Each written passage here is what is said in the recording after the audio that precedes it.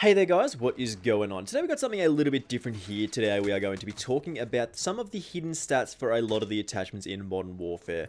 Now, there are a lot of these hidden stats that are getting slowly revealed to the community through tools like codgundata.com and this is the tool we're going to be using to reveal some of these data today. We're just going to be running some pretty generic gameplay in the background while we talk about some of these stats because there's actually some very, very useful things that do come from some of these attachments that you might not have thought of before. A special thanks to the man who did design COD Gun Data. He does stream occasionally, so do go check him out on his live stream. Very, very cool little tool this is to check stats and other things. Like, you can really come up with some of the best sort of setups with actual statistical data rather than just being like, I think this attachment's better, but I'm not really sure why. So do go use this tool if you are interested in this kind of thing. Just before we do get into talking about some of these hidden stats in Modern Warfare, let's try and get this one to 25 likes. You guys have been absolutely fantastic for me recently. All the comments and likes really do let me know that you are enjoying the video. So if you haven't already done so, make sure you do leave a like and do subscribe if you are new around here. I would very much appreciate it and it would very much help me out. So let's start off here with some of our hidden stats in Modern Warfare. Okay, so starting us off with an attachment that most of us probably never use, but it's an interesting statistic nonetheless.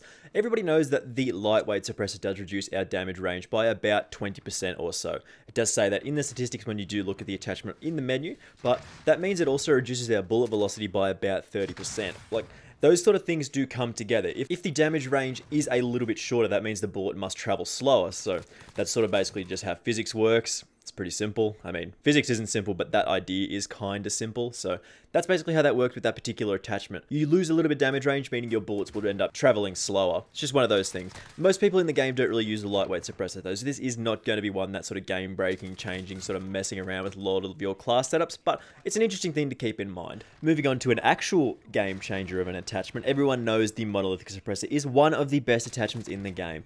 Getting that little bit of extra increase to our damage range, about a 10% increase, is really significant for a lot of weapons. Like, being able to fight at slightly longer distances is always a more powerful thing. But because this does increase our damage range, an increase to our bullet velocity does come along with this, and it is about a 15% increase across the board. Like, you throw in that monolithic suppressor, your bullets travel further, meaning they have to travel faster, so on. You do get a massive increase when you do throw on the monolithic suppressor. It's sort of a little bit unconfirmed, like sometimes I think this decreases or increases your hipfire spread depending on the weapon, but that's sort of unconfirmed and sort of one of those stats that is sort of hard to miss, hard to balance, hard to check. Like, it's one of those things that I think is a thing, but we'll have to wait and see. Moving to another attachment that is an actual banger as well. The monolithic integral suppressor for the MP5 is another one that does have hidden stats. Again, this does give us sound suppression and also increases our bullet velocity. That stuff is known. I think it's about a 15 to 20% increase to our bullet velocity. Very, very powerful there. But again, this is one of those things that does increase our damage range as well. Bullets travel faster, so meaning they travel further. It's again, simple-ish physics. Basically, you shoot the bullet faster, it'll end up traveling further, meaning you can do more damage at range. One of those things that, again, is very, very powerful on the MP5. Being able to shoot our bullets and fight a little bit further out is always going to be super powerful. This sort of leads into sort of talking about ammo conversions and stuff like that, meaning if they do increase your damage range, that basically means they increase your bullet velocity as well. It's sort of a little bit unconfirmed, but basically looking at this over a whole, like everything that increases bullet velocity typically does increase your damage range and vice versa. Right, taking a look at the M4 now, the stock M16 Grenadier and the Corvus Custom Marksman do give us that basic very, very powerful stats of damage range, bullet velocity, and of course recoil control. This is known, this is standard, it does tell us this on the main menu, but what it doesn't tell you is this does actually increase our hipfire spread, so making it less effective at hip firing by about 80% for the stock M16 Grenadier and 68% for the Corvus Custom Marksman. This can make our hipfire fights a little bit more difficult as it is sort of harder to get those shots on target. With these longer barrels that are designed around fighting at range, it makes sense that they do make it a little bit more difficult to fight up close. Just another one of those hidden stats sort of inconsequential, but can sometimes come into gameplay when you are fighting at those close ranges. You don't have time to aim down sight. Another one that I find a little bit lackluster is actually the rubberized grip tape. The little cousin of the stipple grip tape. Nobody really ever uses the rubberized grip tape, as it does make it a little bit easier to control our weapons. I mean, you can typically do the recoil control just by pulling down on your mouse or your right stick, but this little handle does actually make it a little bit easier to hold our guns, but by what percentage does it actually improve that recoil? Well, it's about 4%, which realistically is nothing. Like, 4% increase to anything is nothing, really. Like, you consider how much recoil goes into some of these weapons and 4% decrease, so that is really unnoticeable sometimes. You then compare to this to some of the other recoil controlling attachments like your Merc foregrips and so on, like your bigger barrels that do decrease our recoil spread by about 15, 20, 30% sometimes. So the rubberized grip tape really isn't worth it in a lot of situations as it does only increase our recoil control by about 4%. Right, the Merc foregrip, you guys know about this one by now. This has been floating around the community for a little while. The Merc foregrip does give us about a 15 to 18% increase to our recoil control as well as reducing our hip fire spread by I think about 15%. But as people have discovered recently, this does give us an increase to our movement speed for some reason of about 4%. This is very similar to the bonus that we do get from the actual no stock. Like it's about a 4% increase either way, which is very, very interesting. This is supposed to be an attachment that's designed around recoil control, but I guess it's also designed around sort of close quarters fighting, which makes the movement speed increase actually make sense. Right, the no stock, as we have seen, did receive those nerfs to the actual recoil controlling aspect, and I think it decreases your ability to control that recoil by about 30% sometimes, which is, that's a lot, like that is significant. That's why we have seen a lot of those no stock classes sort of drop off the no stock unless they're being super, super aggressive.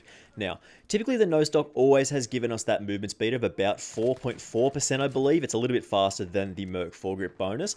It also increases our aim down sight speed by about 70 milliseconds, which is pretty significant. But the no stock actually also does give us about a 20% increase to our aim down sight movement speed, which is actually like pretty wild. That's significant. Being able to move 20% faster while we are aiming down sight, once we get those sights up nice and quickly, we're able to move around the map very, very quickly while we are aiming, which is actually very, very powerful. That old school Stalker bonus is really significant. Stalker has been one of the best perks in previous Call of Duty games, and having a sort of reduced bonus on this particular attachment despite its increased recoil control, which we can actually sort out with other attachments, is is actually really significant. This is a very, very powerful attachment or perk for the no stock. Very, very significant here. But it also actually increases our hip fire spread by about 20% as well. I think it's a 17% increase. That's again significant. Always designed around these sort of close range fights, getting nice and close to people, being aggressive. Get that little bit of extra hip fire spread is very, very powerful here. Like, that's pretty cool. Always nice to see these bonuses come into some of the attachments that do have these flaws, like that recoil control. Makes it a little bit better at being aggressive and so on. I feel like they're actually moving toward, or Infinity Ward are actually moving towards a more sense of these attachments are specifically designed around close quarters, so it will make close quarters fighting easier across the board. Just because it says movement speed and aim down sight speed, it also might include bonuses to aim down sight, movement speed, and so on. Like, it's good that they are making these attachments sort of fit together a specific playstyle, like whether you want to be slower or you want to be aggressive, they are making these attachments work in specific playstyles. Right, Commando foregrip, which has been the favorite of a lot of assault rifle users recently. There's like that holy trinity of the monolithic suppressor, the the longer barrel that does give those triple stat bonuses, and then the Commando foregrip for that horizontal recoil. But noting this here, the Commando foregrip does actually decrease our aim down sight movement speed by about 15%, which is actually significant. It does decrease our ability to move around the map quite quickly while we're aiming down sight and so on. Normally it does decrease our movement speed, so this is another one of those attachments that while it does say that it does decrease our movement speed, as I said, it doesn't say that it decreases our aim down sight movement speed, but it's sort of something that you can infer from context. Like movement speed across the board should be a more broad idea. It's not just when you're moving around or when you're sprinting around or so on. It does apparently mean movement speed across the board, which includes when you're aiming down sight. This is not actually the same decrease to our movement speed that it does get from like actual just regular movement speed, which is a bit weird. Like you would assume that it would be the same like the actual same number. If it does decrease our movement speed by 15%, it would be exactly the same, but it's a little bit different, so it's a bit weird.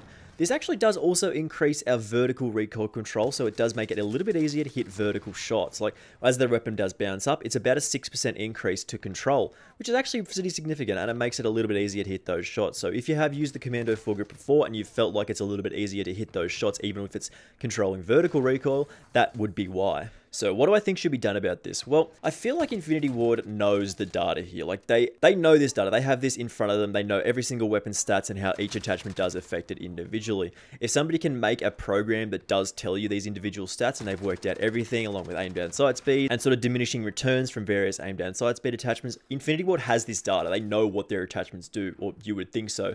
And they should typically just add like whatever the attachment does in the listing. I mean, it might be a little bit interesting to see an attachment that does does decrease our movement speed, also saying that it does decrease the aim walking movement speed, like you might think that it double dips, but I mean, just to make it more clear to people what is actually going on with some of these attachments, because some of these are significant changes, like an 80% wider hip fire spread with the stock M16 Grenadier, that's actually significant, that's near double, that's pretty large, like a 30% decrease to our bullet velocity with a specific attachment, that's again, one of those things that just should be in the game, you should know these stats when you're putting these attachments on your weapon, so they just need to add them, it's as simple as that.